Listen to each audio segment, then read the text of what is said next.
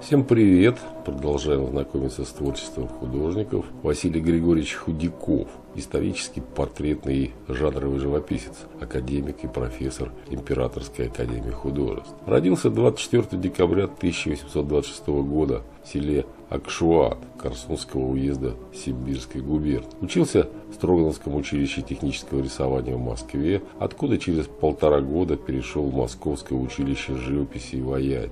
Ближайшим его наставником был профессор Завьялов, пригласивший его к себе в помощники при расписывании святых синей в Кремлевском дворце. Переселился в Санкт-Петербург в 1848 году и поступил вольно приходящим учеником в Академию художеств. В Петербурге писал преимущественно портреты и образа по частным заказам. Получил звание назначенного в Академике. В 1851 был признан академиком. После этого им были исполнены портреты различных лиц и образов для церкви Тульского кадетского корпуса и других церквей. В 1857 году Худяков отправился в Италию, где провел, живя главным образом в Риме и Неаполе, 4 года, до тех пор, пока Московское общество любителей художеств в 1960 году не призвал его для занятия должности преподавателя училища живописи и ваяния за написанную в Италии по заказу графа Кулешова-Безбородка картину из римского народного быта «Игра в шары» Академия возвела Худякова в звание профессора. Худяков был прекрасный рисовальщик, колорист, хотя и несколько цветистый, но умевший сильно воспроизводить освещение и достигать большой рельефности изображенного. Однако последнего картины значительно слабее тех, которые написаны им в Италии.